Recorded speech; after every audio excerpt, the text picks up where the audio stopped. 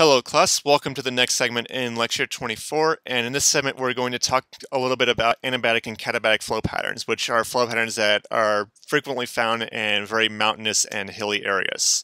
And this is sort of an extension of the atmospheric boundary layer because typically, excuse me, typically these flow patterns occur in the atmospheric boundary layer itself. Um, maybe an exception to this rule might be Mount Everest, which extends really high into the atmosphere, but most of the time, uh, most hills and mountain ranges, uh, these flow patterns will be occurring in the atmospheric boundary layer. So the first thing that we're going to talk about is the idea of an anabatic flow pattern, and sometimes you'll also hear this referred to as a valley flow pattern. And more generally, these two flow patterns are referred to as a mountain-valley circulation. But you'll talk more about the details of that probably in your mesoscale class, which will be your spring senior year. So the whole idea behind this is you've got a mountainside that's exposed to direct sunlight. And it turns out that since the air atop the mountains is much uh, drier, it's much easier to heat up. And if you've got uh, some sort of slope surface, then you can actually absorb more heat on a slope surface than may, maybe a surface that's completely flat. And in the case of an anabatic flow pattern, the slope of the mountain heats up much faster than what's at the what's at lower elevations. Sometimes this is, occurs in the base of the valley, and this actually results in a flow that rises. And the primary mechanism behind this is again buoyancy, buoyancy that's driven by a surface that's absorbing heat much more rapidly than another surface. And this is kind of similar in some respects to a sea breeze circulation, but it's a it's pretty much the same general idea, but a slightly different mechanism. Um, we'll actually take a look at a diagram that sort of illustrates this. But since you have all this rising motions occurring as a consequence of this differential heating, uh, this tends to result in an area of low pressure that forms in the base of a valley or at lower elevations. And again, we'll take a look at a diagram that sort of illustrate this, illustrates this a little bit later on. But I wanted to sort of introduce these ideas before we take a look at that. And the opposite of this would be a katabatic flow pattern, which is also sometimes referred to as a mountain flow pattern. And it's sort of the same mechanism, uh, except that now the slope of the mountain cools off much faster than the air at the base of the mountain or at lower elevations. And as a consequence, you have negatively buoyant air, which then wants to descend down uh, to lower elevations, which then results in what we refer to as downslope flow. So it's also much like a sea breeze circulation. This also has its own diurnal diurnal cycle, and again, it's driven by uh, different specific heat capacities. In the case of a sea breeze, though, it was a difference between the water and the land that was causing the differential heating. In the case of anabatic and katabatic flow, the differential heating is due to the fact that you've got a slope surface and also the fact that the air is not, uh, you have different densities in the air. If the air is less dense, then it's much easier to change the temperature of that air, which will then imply that you have a lower specific heat capacity. But the underlying mechanism is still largely the same. Differential heating caused by uh, different uh, values of specific heat capacity, which then cause a temperature contrast, which then sets some atmospheric flows in motion. And one uh, important consequence of katabatic flow patterns is this tends to result in colder air collecting in the base of a valley. And this has very profound uh, consequences for agricultural reasons.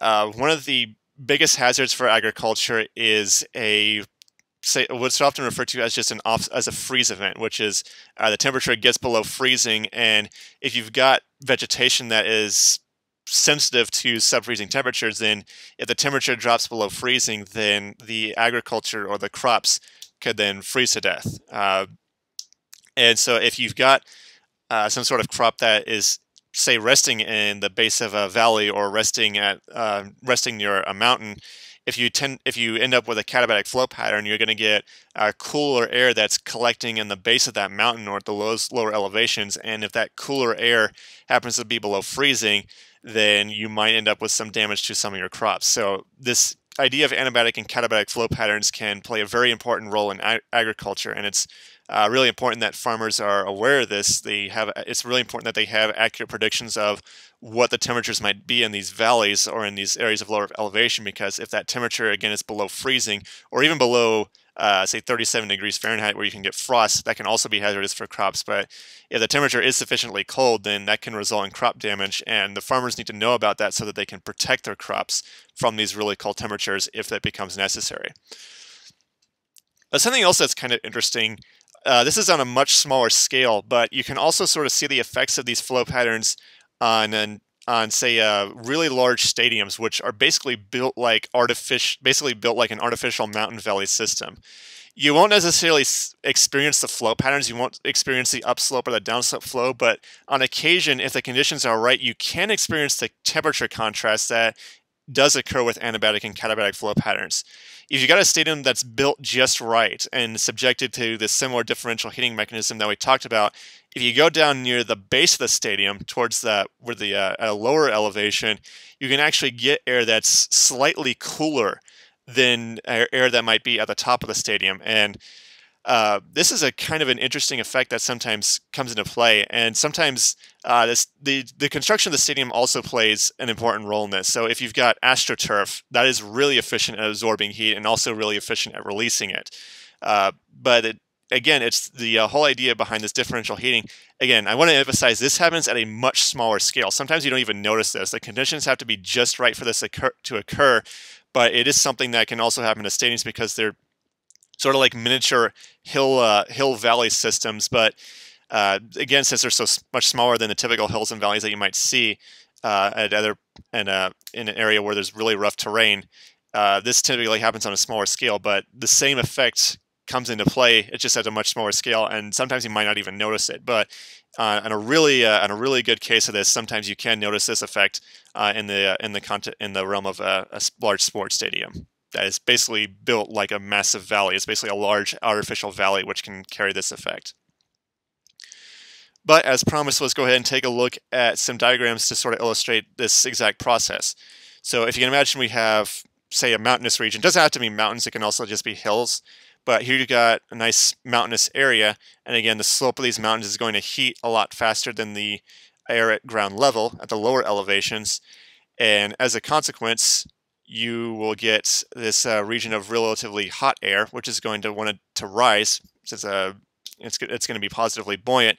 And if you get a sufficiently uh, strong rising motions, that can lead to a region of lower pressure forming in the base of the valley or at the lower elevations. And as contrast to this, it would be a katabatic flow pattern, which typically occurs at night when everything is allowed to is allowed to cool off.